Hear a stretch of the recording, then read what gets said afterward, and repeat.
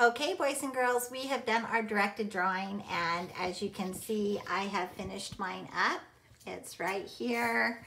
I have also um, labeled the head, thorax, abdomen, six legs, two antenna, and compound eyes.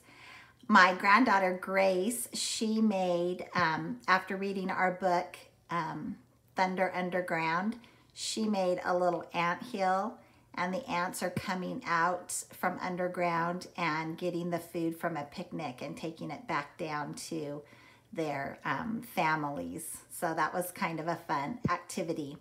So I told you that we were going to read a poem about ants and then I was going to ask you to write something about that poem. So this is our poem. I'm gonna put it up right here.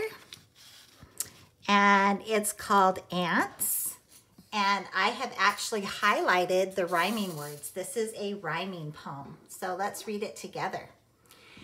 If I were as small as a little black ant, I would do things that big people can't. I would sit on a leaf, take a bath on a rose, ride on a bee, and tickle its nose. I'd walk under a duck, lead a big ant parade, and sleep in a web that a spider has made. If you were as small as a little black ant, what would you do that big people can't? So here's our rhyming words, ant and can't. And again at the end, ant and can't. Rose and nose, and parade and made. Boys and girls, would you read this poem two more times to someone in your family? And when you're done, I would like you to write down what you would do if you were as small as an ant, what would you do that big people can't? So it has to be something that a big person wouldn't be able to do, that you could only do it if you were as small as an ant. Okay? So this is what I wrote. I wrote that I would like to ride on a lily pad in a pond. You know Mrs. Bennett loves the water.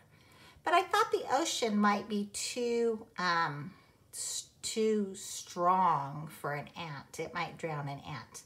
But if I could ride on a little lily pad across a pond, I think that that would be so fun if I were as small as a little black ant. So would you please write something that you would do if you were as small as a little black ant? I have such a fun story about an ant for you to listen to tomorrow. I can't wait for you to hear it. It's one of my favorites. See you then. Bye.